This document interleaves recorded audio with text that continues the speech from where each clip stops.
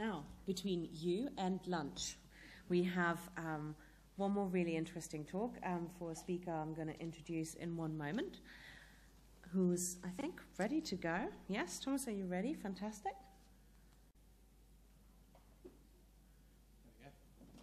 Excellent. Um, Thomas has joined us um, from IBM Tectrade and um, will introduce himself and what he does a little bit more and tell you a little bit more about data um, before lunch. So I'm going to hand over to Thomas and please give him a warm welcome. So thank you very much for very way I'm keeping you from lunch. So I'll try and keep it uh, to something that interests you. So when I was given this opportunity to Alton, I can only thank you for, for doing that. I was thinking for the first thing, why should you listen to me? Because obviously, especially after Audrey's uh, presentation this morning about uh, all big companies just want you to uh, essentially buy from us. I don't think that's the case from me here. So, uh, as you will have just seen, if I press the right button, there we go. Uh, Dame Wendy Hall spoke last year. I actually did some research on the conference as well. Um, and she mentioned here about when in her web conference, which I found very interesting, uh, big data at the bottom down there. Uh, she's talking there about how the web uh, has enabled, is pushing a lot more data out to everyone. And that's part of what I do. So I'm actually part of our big data analytics team at IBM. And then also to top that off as well, on Monday, just to help me, uh, Jeff spoke about um, what the, uh, the priorities for education were. And in that, he mentioned as well, uh, just in the middle there, uh, a data-driven world and analytics and, and predictive. So uh, it's not just me telling you that I, I think this is an interesting topic, but there's some key people in, in education who are saying this as well. And there's another person from IBM, actually, Kalen Hargrave. Uh, you'll see his uh, Twitter handle at the end, but if you follow him, he's got some really interesting things to say around this as well. Um, and then the final thing is, uh, is there anyone here from London South Bank University? No. Okay. Well, London South Bank University, I've just invested with IBM um, uh, a lot of money, but uh, the reason behind that is because they're really uh, trying to empower the student and work with the student. Uh, this is actually from a press, press release on their website that if you Google, you can find, um, and I'm going to talk a little bit more about LSBU a little bit later. So, uh, what I'm going to talk about. So I'm just going to give you a quick overview of what IBM thinks big data is. Um, and that's come from the reason why we are, I guess, qualified is we invest uh, 1 billion a year in uh, R&D for big data analytics. So it's quite a big tranche of what IBM are looking to do um, in the coming years. Uh, some case studies, so to go back to Audrey again, um, to actually talk about reality and not fantasy and tell you some stories about where it's actually been used, and then actually talk about where it's been used in education, because obviously that's what everyone's interested in. So what is big data? Well, according to Gartner, there's three major V's. You may have heard of these. Um, so they are volume, velocity, and variety. And that, to qualify to be a big data uh, problem or, or, or just be big data, you've got to have two of those. So essentially, high volume, lots of data. Uh, velocity, how quickly that data is coming to, at you and whether you need to analyze that quickly. And then high variety, so the, fact that uh, there's now structured data and unstructured data. Traditionally, uh, we've always dealt with structured data and we've dealt with it very well, especially from an IT company like IBM. But how do we actually deal with this new unstructured data, whether that be social media, log analytics, those kind of things? And then there's some interesting quotes here. So one from Clive, Clive Humby, uh, Dunnhumby. Data is the new oil. It's just it is, data is just like crude. It's valuable, but if unre, unrefined, it cannot actually be used.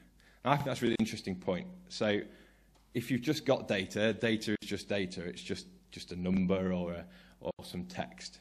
Essentially, once you can do that analytics and, and define that value and where you want to go with it, then it becomes of actually some value to you. And then another one from uh, John Naisbitt, who's an author and speaker on future studies he's, he's actually pointed out that it's one of the few resources that is not only renewable but also self-generating.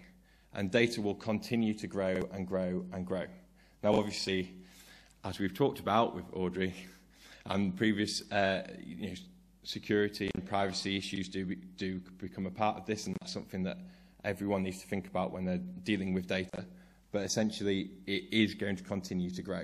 And there's nothing new about big data. Data has always been growing. That's just been the case for the time. What's new about now is the technology that's available to actually do something with that data, I would argue. So this is IBM's point of view on the characteristics of big data. So yes, we agree on volume and velocity and variety. So volume, as it says on the slide, uh, by 2020 there'll be 35 zettabytes of data. That's a hell of a lot of data. Um, and velocity, there's 30 billion, and this is, this is uh, over a year old slide now, so I, I don't know whether that number is still actually true, it's probably more. Uh, in fact, uh, Jeff on Monday spoke about um, them putting RFID tags on toilet rolls, and so they can follow him around. I, didn't, I don't know where he got that from, but I found that very interesting. Uh, and then variety, so that's a key one for us, effectively uh, analysing that different variety. So again, going back to that structured and unstructured. The extra one that we'd add is, is veracity.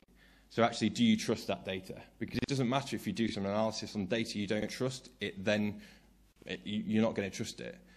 I'm sure you have it in every day. I, the jobs you do, I have it. I get a spreadsheet, I question a few numbers, and then I do the analysis, and I'm like, well, I don't trust that analysis because I don't trust the data it's come from. You've got to have that. And then these bottom two have a little star on them because they're my personal. Uh, they're not IBM's, so using the disclaimer we talked about before, this is my personal view. Understand the value of that data source. If you don't know what the value, some data, admittedly, is not going to be valuable, and you don't want to be analysing that.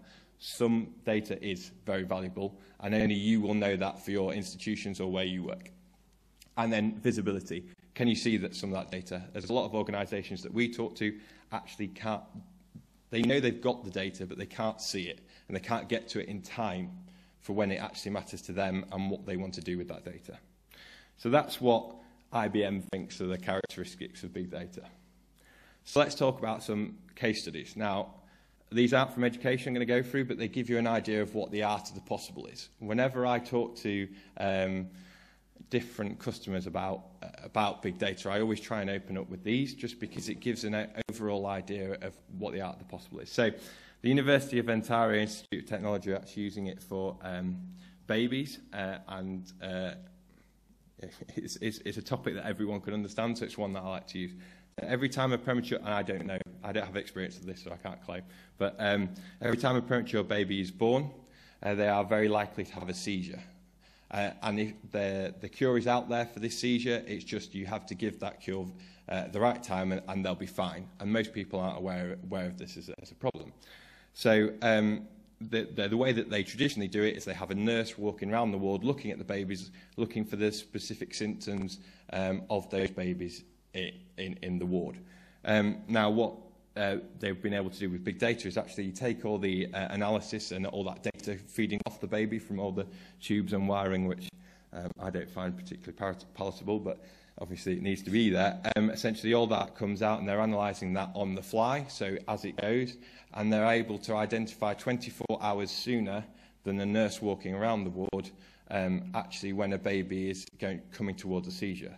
As well as that, they've also identified a pattern to actually uh, be able to work out a little bit better why those seizures happen. So that's, that's helped uh, uh, save lives in, in, in this ward and is something that uh, you know, we're looking at from an IBM perspective at, at, at you know, what we can do there. Um, now, going back to the security and privacy one, I was debating about taking this out this morning after Audrey's talk, but I've kept it in because of what it can do. Now, Terra Records, uh, they are managing, uh, they manage a lot of secure places. So this is actually um, the in America, they are managing some of the uh, nuclear uh, education sites. So obviously they've got nuclear particles on. They don't want people coming near the site because obviously there's the protective around that. And essentially what they're doing is around the perimeter fence, uh, you would just have usually a guards in the guard tower in the middle looking out um, and send out people every now and again. What they're now doing is uh, they've got sound detectors all around the outside of that perimeter fence, and they're using the last uh, two to five years worth of data uh, to actually tell them when someone is approaching. So they're analysing the sounds that are coming in. So this is not data in its traditional format, i.e um, structured logs or, or even text data. This is actually sound data coming in, so they can tell the difference between a fox walking towards that perimeter fence or a tree falling over 500 yards away to someone actually coming and walking towards that facility. And all they do then is they send out the guard to that area, and the guard will deter that person from coming any closer because obviously they realize it's a secure facility. Now, I'm not saying that Big Brother is coming to watch you with this technology. There is very specific use cases and where you want to use it, but uh, it's just uh, an example of, of what, what that art, the possible is. Uh, and the third one is a very simple one, essentially um, infrastructure and managing infrastructure. So actually you understand that a light bulb has gone before it's even gone, or that um, you're managing those energy bill forecastings, those kind of things. All kind of, all available because we're using the massive amount of data that is out there, we're leaving it in its current format, we're sticking it in something called um, Hadoop in this case, but different tools in, in different instances, and using that to actually drive out some outcome and insight that um, individually these uh, our customers have asked for. Uh, and the final one that I'll go into, because I find it quite interesting anyway, um, is the smarter crime pre prevention. So uh, Memphis State Police um, were having a three year, 3% rise per year of crime in their state. Um, and obviously, as we all know, with uh, cuts, etc., the US is just the same. They were struggling with, uh, they needed 500 more police pe uh, individuals to actually manage that. So they actually looked at a different way to approach it. They're using predictive analytics um, to tell them based on pre what they know from the patterns of how criminals work um, working out the patterns of that so they can send a police car to the place where they think that crime will happen that's actually caused a 30% cut. Now, uh, you know, that's, you, you think that's surprising because once the criminals work out that they're working by a pattern, they'll start doing some uh, uh, anom anomalies. Actually, the way the human brain works, you're still working to a certain pattern, even if you're trying to avoid the pattern, apparently. So um, I, fi I find that interesting. There's a really good advert, actually, uh, that IBM have done for that, if anyone else wants to uh, uh, look up at that. So, the more interesting part for you guys is what have we actually done in education? Are we getting on? There we go. Uh, I apologise for the pictures. These are actually pictures from my holiday to Australia because I couldn't find any relevant pictures for this. So, um, This university in Australia has six campuses around a major city. Uh, unfortunately, not all our reference case studies allow us to name them, um, but they have uh, a lot of students and they focus on fostering academic performance to gain the maximum be benefit. And they actually created uh, an office of strategy and quality and wanted to look at what they could do to actually uh, improve um, the students who were at uh, the university uh, on on how they go through that course and how, their experience all the way through that university. And so they had theories on correlation on why students uh, were dropping out or showing less interest during a course. Um, these were uh, range from the, their level of language, their gender, their entry scores, and their socio-economic status. So they decided to measure and actually monitor um, with student opinion and coursework and performance uh, and actually work out if their hunches and what they believed to be true was actually true. Uh, and what IBM have been able to do with this predictive analytics tool, using all that data that they've collected from previously, identifying the patterns to that, um, they've uh, can now identify risk factors quickly and accurately uh, and can intervene proactively uh, to reduce class failures and dropout rates. Now, when I'm not at this point saying that we remove the tutor or anyone who is involved on the face-to-face -face basis. I agree with Audrey this morning when she talked about actually, you know, I remember when I was a lecturer, uh, when I was at university, the face-to-face -face was what really drove the value for me. Um, but if you can before you're actually aware of it from an individual perspective, be warned to a percentage of, of we are 75% certain this person is dropping out because of X, Y, and Z, because these four people in the past have shown that um, correlation of behaviour, then you can identify to that tutor or individual to maybe, you know, it might just be send them the send them an email to say um, there are these funding courses available because we know that they're from uh, you know, they might be struggling with finances. or it might be the tutor go, just goes and have a word with them and say, are you struggling? But that decision is still made from the institution. That decision is not made by any tool that we tell you you've got to go and do this. We give you what the um, what we think the reasons are why, and we we we can tell you uh, we can help you make that decision, but we will not make that decision on your behalf. Uh, I told you I'd talk about London South Bank University a bit more. So uh, they took uh, all of what we call sorry about that, um, our exceptional student experience. Um, that we have these leaflets in the handout in, uh, in our stand outside if you want to come and grab one. But uh, essentially, the key part of that exceptional student experience for London South Bank University was all around uh, predictive analytics and being able to predict when students drop out. Um, they have quite a high rate in their personal view of, of, of dropouts, and they wanted to reduce that. They're doing that through uh, several areas, including collaboration and how Those students collaborate with each other, their tutors, etc. But um, uh, the key benefit to them is, is reducing, uh, uh, reducing dropouts. Um, American Public University are the open university in, in America. Uh, and they, uh, again, are, and this is going back to that point where we're not telling you it's definitively like this. We're actually telling you we can predict with a certain amount of certainty. And actually on the tool, it, you know, you can build it out, but essentially it's telling you we are 75% or we are 80% certain of this. So we're not saying yes, it's not a yes or no answer. It's a this is how confident we are. And you might say, well, we'll ignore it if we're not over 60% confident. That's fine. We're not telling you otherwise. But we're actually giving you uh, a helping hand, essentially, towards whatever decision you might make. And that's, again, increased retention. Um, again, Wichita State University. And I know I'm, we're now going to go into, four actual US uh, examples, but uh, as uh, Jeff said on Monday, uh, US trends do come across the waters. We've found, uh, and I know that Audrey talked about some of them we don't want to, but I think this is actually one that's worthwhile.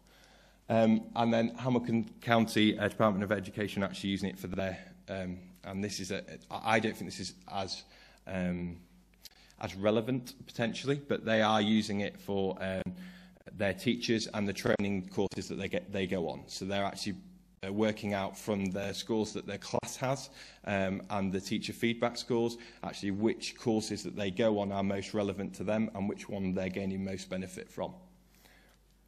Uh, and then finally, Michigan State University.